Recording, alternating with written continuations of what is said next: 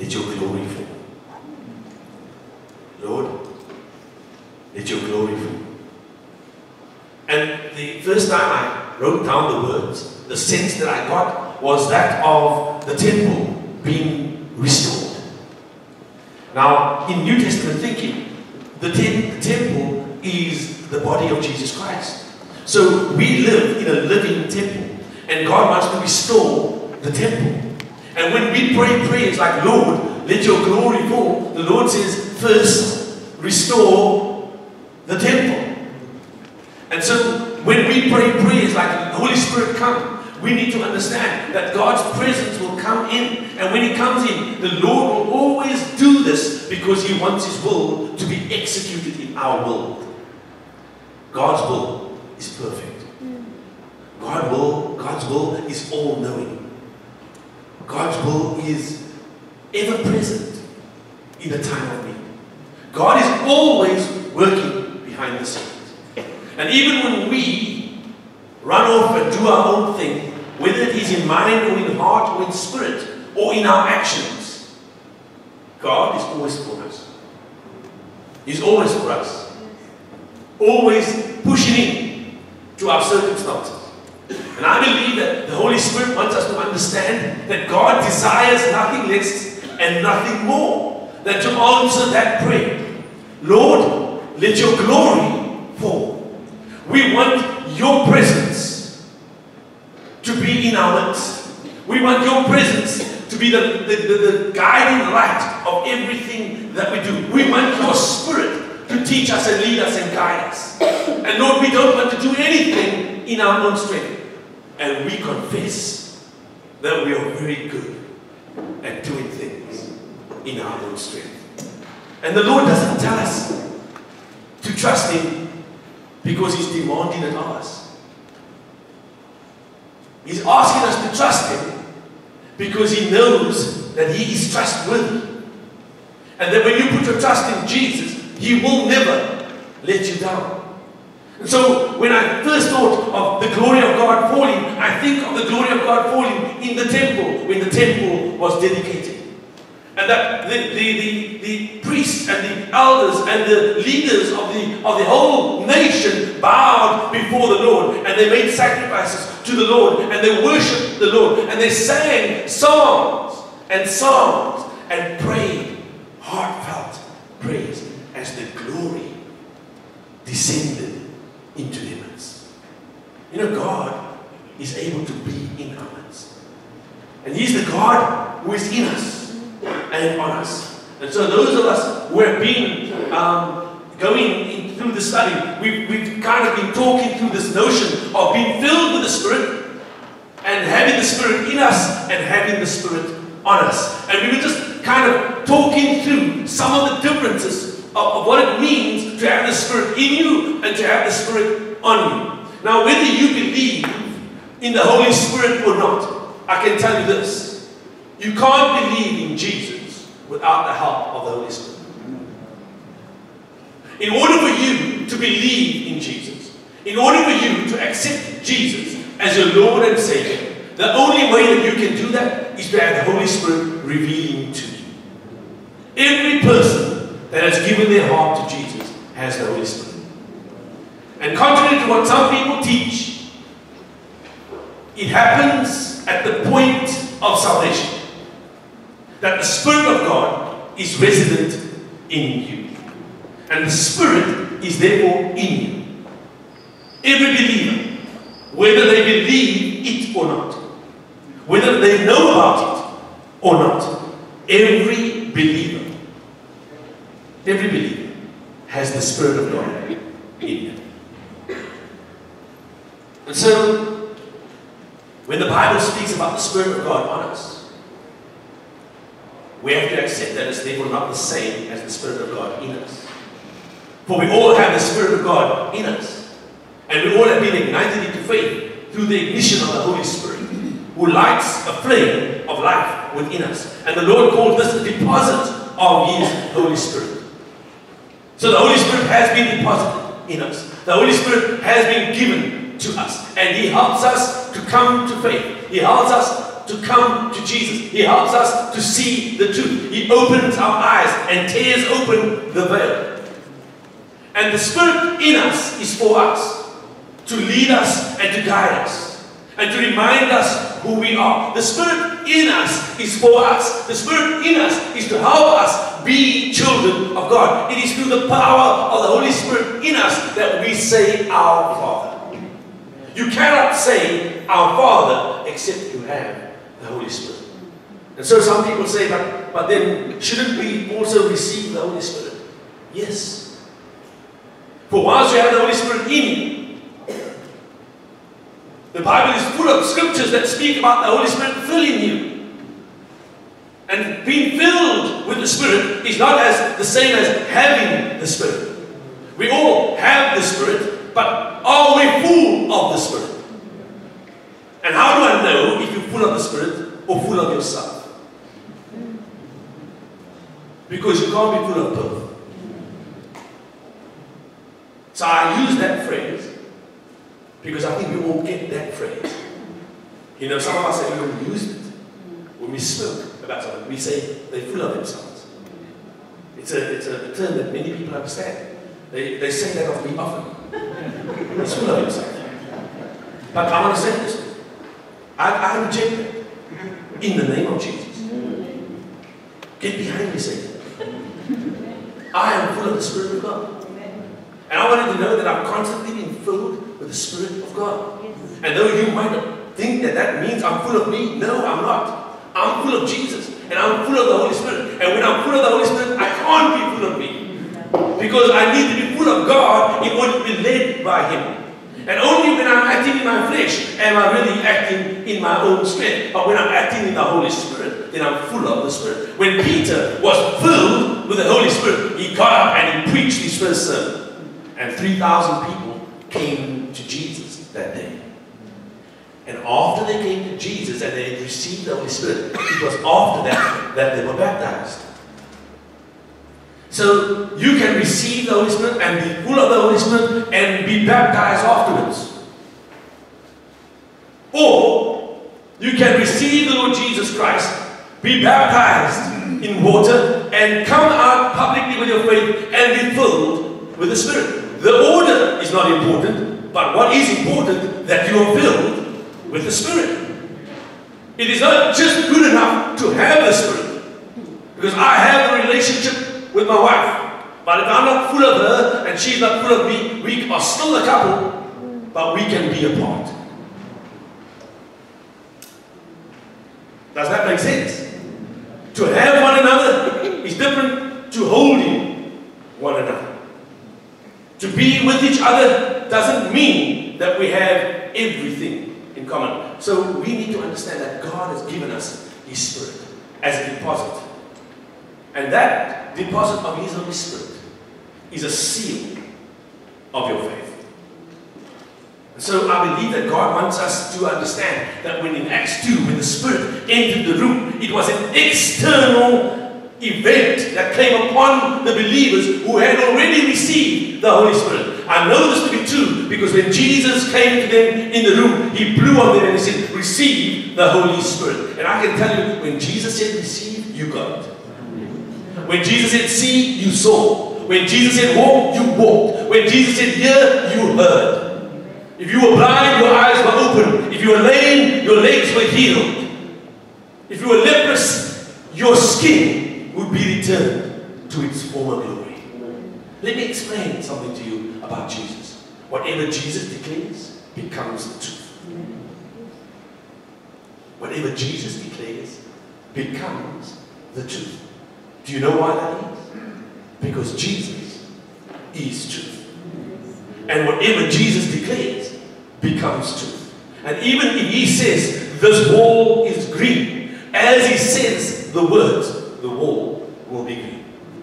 I wish he would do that because then I wouldn't have to pay. Okay? I'm not Jesus. Because what I say doesn't always happen. And so here's what we need to remember that we are not God, but He is. He is. And so, yesterday morning in the prayer meeting, I, I, I, I remember as I shared this, Ruth took a phone out and typed something. You know, and then I knew that it was a significant thing that I said. because I didn't know how significant it was until I see her take a phone out and type it. You were doing that, right? Ah, thank you. You wouldn't maybe send the message to someone. thank you, Jesus. So it was significant. But I can tell you that ever since that moment, Ruth, as I left the prayer meeting yesterday, that phrase did not leave me. I, I, I, my message was prepared early in the week, but this morning the Lord changed it. And He changed it because yesterday I said something in the Spirit. And I recognized that it wasn't me talking, but the Holy Spirit. And when the Holy Spirit gives you something, then it's almost like you know something suddenly and you appear to be wise. and then I normally go, that's right. I see that. You know? Because it's nice to appear to be wise. We all like to be wise. Solomon asked for wisdom. But let me tell you something. Solomon asked for wisdom, and wisdom was given to him, but Solomon was not wise. There's a difference between receiving wisdom and being wise. Because Solomon was very good at giving wisdom away, but Solomon was not good at living the wisdom he got.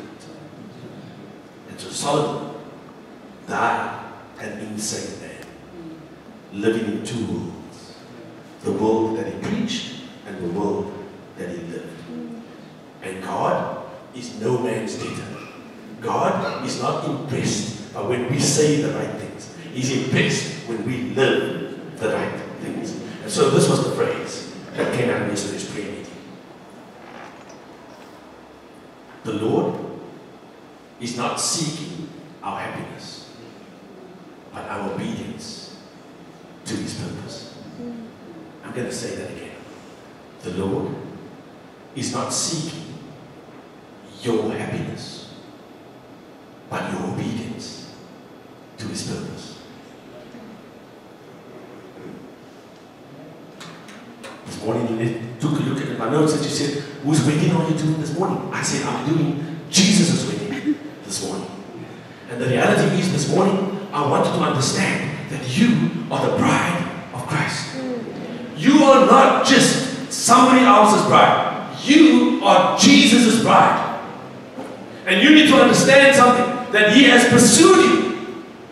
He has pursued you as the lover of your soul. He has pursued you. And He has caught you and caught up with you and revealed His love to you. And then He said to you, Will you covenant with me? In other words, will you marry me? Will you become my spouse? Will you become part of my bride? Jesus wants to call you to a level of relationship that is beyond just being friends. I'm not just a friend of God. I'm part of the bride of Jesus Christ. I am a covenanted man. I am living in covenant. You know what? The bridegroom is coming and I need to get myself ready for our wedding day. I need to get myself ready for the wedding day. We need to get ourselves ready for the wedding day because Jesus is coming. And believe me, brothers and sisters, He's coming sooner than we realize. I know every generation believes that we are closer to the day that Jesus is coming. Do you know that we are living in the last days? Did you know that every believer that has ever lived lived in the last days? But I want to say something to you. There is the last days and there is the last day. And the last day is coming. And every of the last days is closer to that day. And so we should be living a life that understands the purpose that we've been called to. The covenant that we've been made in Jesus Christ is not just signed in ink, but it is signed in the blood of the Lamb. And it's been paid for in full. The wedding's been prepared. The angels in heaven are getting the banquet ready for our arrival. And we can't live like we're still single when we have been betrothed to the Lord. For he is coming to fetch a bride that has made herself ready. And so we mustn't be like the foolish virgins who just used up all the oil and burnt it light, and then at the beginning of their journey they shone brightly, and then they ran out of oil. And when the day of the wedding came, they were finished, not ready to receive their bridegroom.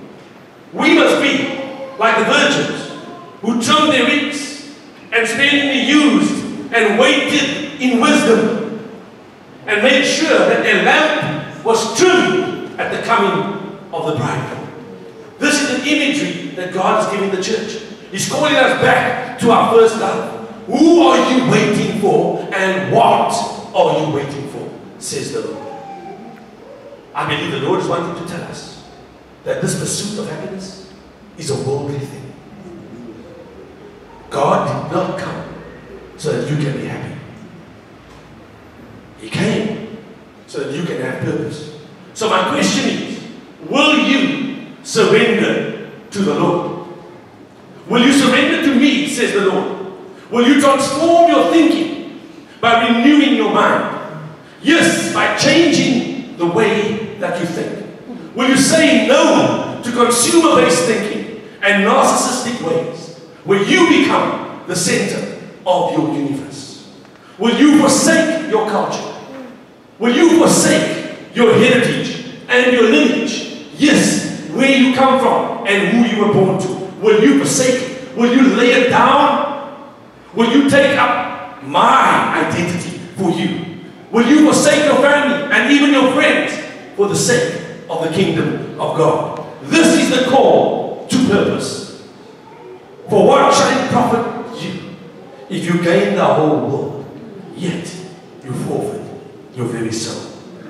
Will you, church, surrender to me, says the Lord? When you pursue your happiness, you will want to get what you think you deserve or what you think you are entitled to. But when you surrender to me, says the Lord, you will not have what you truly deserve. Because what you truly deserve is death. What you truly deserve is an eternity without me as a result of all these things that you have been pursuing and all the self gratification that fills the life of every man, woman, and child. So surrender, the Lord says, and exchange death for life. Exchange death for life. Yes, even eternal life. It's not what you deserve, but it is my grace gift to you. It is my charismata of my heart to all who believe in my Son, Jesus. Will you surrender to me, says the Lord. Instead of happiness, you'll have the joy of my salvation. Yes, the salvation of your soul. You see, I'm not seeking your happiness, but your obedience to my purpose, because obedience releases blessing, and my blessing brings joy. Happiness and joy are not the same thing. So will you surrender to my joy? Happiness says, I want. Joy says, I will. Happiness says, I can't. Joy says, I can. Because the seat of happiness is my ability, but the seat of my joy is the source of my strength. For in Christ I am able to do all things. You see, when Christ is the source of your strength, He is the source of your joy. And your joy in Him will be complete. So will you surrender the pursuit of happiness and chasing after your dreams? Oh yes, your dreams. Pipe dreams. Happiness says, give me my way. While joy says, let your will be done. While happiness leads to greed, my joy supplies all your needs. While happiness hoards, joy gives and serves generously. Happiness will consume while joy revives and refreshes you. Happiness says, more for me, while joy says, more of you. Happiness says, not enough, while joy screams, more than enough. Happiness seeks comfort, while joy perseveres and endures. Happiness seeks to enrich, while joy empowers. Happiness feels good, while joy satisfies your needs. Happiness is selfish, while joy is kind. Happiness is situational, while joy is relational. You see, when you build your life around your happiness, you will find that happiness is fleeting. The world is right about one thing. Happiness is indeed a choice. It is taught in the world that you choose to be happy. It's not what you know, but who you follow that matters. Because in times of struggle or in times of sorrow, when the tempter reveals himself, happiness will abandon you and it will lead to despair. But when I'm tested in a time of struggle and my source is the Lord, it is this that when His joy becomes your strength. For He will remind you, yes, the Holy Spirit, the source of your joy, will remind you about the truth. For it is the truth that has set you free. For you have life, not death. That you are loved and not condemned. That you are forgiven and not forsaken. That I am for you and not against you. That you will know the truth and the truth will set you free. That you are not a slave but a child of God. That you will not settle for happiness but will embrace the joy of the Lord. For the joy of the Lord remains the strength of his people. For I am not ashamed of the gospel. The good news that Jesus is the Christ, the anointed one, the promised Messiah, the sacrificial lamb, and the risen Son of God, the good shepherd of his great pasture, the living word, the ruler of heaven and earth, seated in heavenly places, where he rules and reigns in glory, whose kingdom is advancing in the midst of the chaos of humanity. He became man and took upon himself the sin of mankind. We are all at one point in our lives distant from him.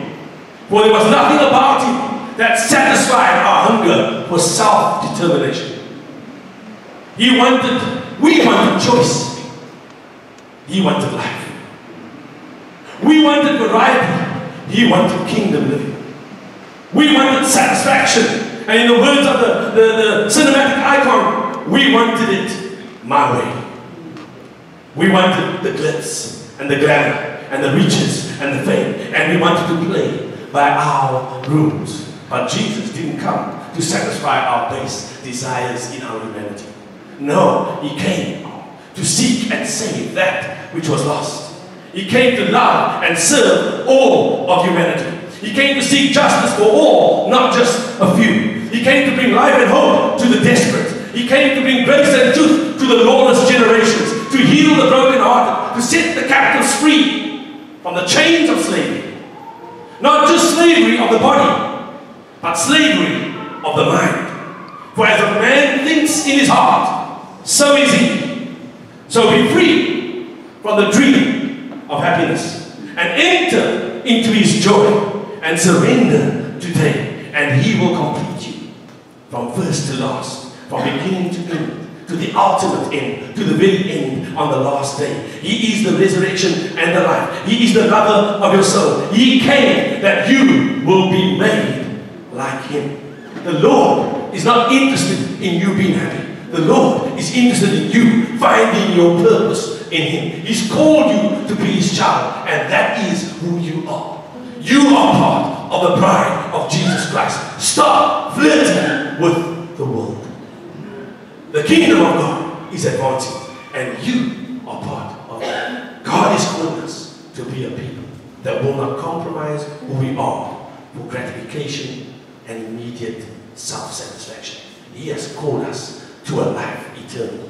If your hope in the Lord is for this life only, and what you can gather in it, your hope is no hope. For the hope that God has given to you is for this life and for all eternity. The life that Christ paid for with his life is written in a covenant on the mercy seat of God and written in his blood. And he bears your name and you bear his.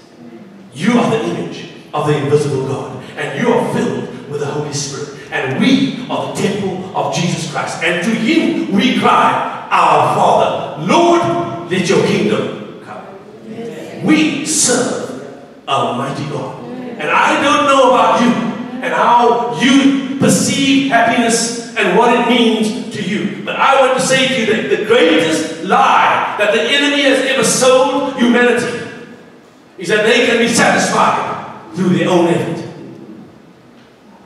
I'm not saying that God can't equip you to be great at what you do. I'm not saying that God can't empower you and enrich you to be a blessing to the kingdom of God. I'm not saying that God is calling us all to be the same. No, it is in fact through the diversity of who we are that our strength lies in it. We are not uniform. No, we are not all the same. But we all serve the same God. And as I said last week, according to the words of Martin Luther Jr., King Jr., Martin Luther King Jr., Senior, Junior, it's an American thing. In other words, there was one before him.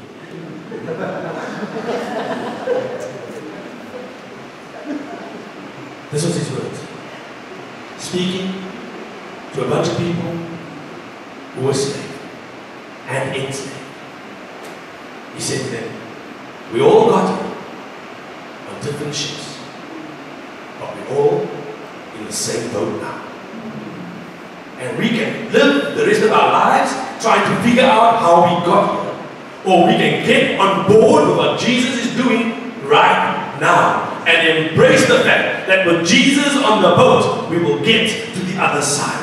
And He is the one who will get us there. You know, when the disciples were in the boat, they lowered all night. And it was dark. And for six hours, they couldn't even get halfway across the lake because a spiritual storm blew against them. And Jesus came walking on the water. And He called out to them, It is I. I am here. And they said, It is the Lord. And they invited Jesus onto the boat. And I love the way that Luke and John, write this.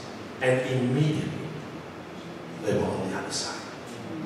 When Jesus is in the boat, things happen immediately.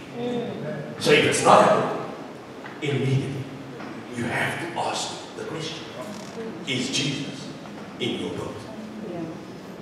Or are you chasing pipe dreams? Stop pursuing happiness in your own strength. Enter in to the joy.